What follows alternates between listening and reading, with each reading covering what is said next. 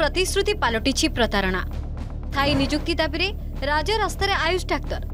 ଦାବି ପୂରଣ ନ ହେଲେ ଜୋରଦାର ଆନ୍ଦୋଳନର ଚେତାବନୀ ଜାତୀୟ ସ୍ୱାସ୍ଥ୍ୟ ମିଶନ ଅଧୀନରେ ସଂରକ୍ଷଣ ନିୟମାବଳୀକୁ ଆଧାର କରି ଲୋକଙ୍କୁ ଆୟୁର୍ବେଦିକ ଓ ହୋମିଓପାଥିକ ଚିକିତ୍ସା ସେବା ଯୋଗାଇବା ନିମନ୍ତେ ଆୟୁଷ ଡାକ୍ତରଙ୍କୁ ନିଯୁକ୍ତ କରାଯାଇଥିଲା ଗ୍ରାମାଞ୍ଚଳର ଗୋଷ୍ଠୀ ସ୍ୱାସ୍ଥ୍ୟ କେନ୍ଦ୍ର ଓ ପ୍ରାଥମିକ ସ୍ୱାସ୍ଥ୍ୟ କେନ୍ଦ୍ରରେ ଠିକା ନିଯୁକ୍ତି ପାଇଥିବା ଆୟୁଷ ଡାକ୍ତରମାନଙ୍କୁ ନିୟମିତ କରିବାର ବ୍ୟବସ୍ଥା କରାଯାଇଥିଲା ହେଲେ ଏପର୍ଯ୍ୟନ୍ତ ଚଉଦଶହ ପଞ୍ଚାଅଶୀ ଆୟୁଷ ଡାକ୍ତରଙ୍କ ଚୁକ୍ତିଭିତ୍ତିକ ନିଯୁକ୍ତିକୁ ନିୟମିତ କରାଯାଇ ନାହିଁ ଯାହାକୁ ବିରୋଧ କରି ଅଲ ଓଡ଼ିଶା ଆୟୁଷ ଡାକ୍ତର ସଂଘ ପକ୍ଷରୁ ପଦଯାତ୍ରା ଓ ଧାରଣା ପ୍ରଦର୍ଶନ କରାଯାଇଛି ପ୍ରତ୍ୟେକ ସମୟରେ ଆମକୁ ପ୍ରତିଶ୍ରୁତି ମିଳୁଛି କିନ୍ତୁ ଏବେ ଯେ ଆମେ ସୁଫଳ ପାଇନୁ ଆମର ଆଶା ଓ ଭରସା অনরেবল সিএম আমার কথা শুনবে এই আশার আমি অছু আজি যেতে বাধ্য হয়েকি রোগী সেবা ছাড়ি নিরীহ যে মা যে জগিকি বসিছে আমাকে দেখাইব বলে বুড়ি মাটে তাকে ছাড়িকি আমি আজ আসিকি রাজরাস্তায় ছিড়াইছু যেত আমার ডিসাটিসফ্যাকশন কু এইটি শো করুছু এই মিডিয়া মাধ্যমে আমি গভর্নমেন্ট কু জনাইবা চাহুছু যে আমি ডিসাটিসফাইড স্যার আমার প্রতি দৃষ্টি রাখতু আমি যথাশীঘ্র আমার ন্যায্য দাবি রেগুলারেসন দিও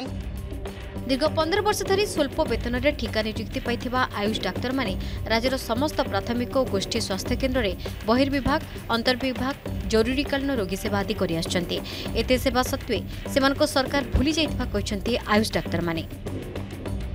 ଆମେମାନେ ଦୁଇ ହଜାର ସାତ ମସିହାରୁ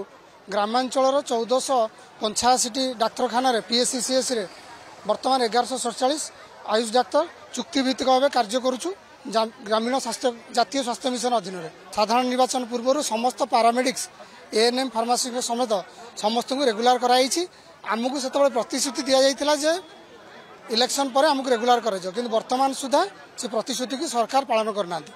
ସେହି ଆମର ଅସନ୍ତୋଷକୁ ପ୍ରକାଶ କରିବା ପାଇଁ ଆଜି ଆମେ ଏକତ୍ରିତ ହୋଇଛୁ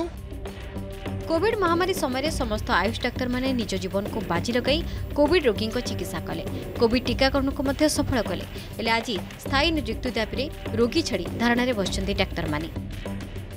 ଭୁବନେଶ୍ୱରରୁ ଭିଡ଼ିଓ ଜର୍ଣ୍ଣାଲିଷ୍ଟ ଜିତେନ୍ଦ୍ରଙ୍କ ସହ ଅବିନାଶ ଦାସଙ୍କ ରିପୋର୍ଟ ଅର୍ଗସ୍ ନ୍ୟୁଜ୍ ଓଡ଼ିଶା ସାହିତ୍ୟର ମାଟି ଓଡ଼ିଆଙ୍କ ରକ୍ତରେ ସାହିତ୍ୟ ସାହିତ୍ୟ ହିଁ ସମାଜର ପ୍ରତିବିମ୍ବ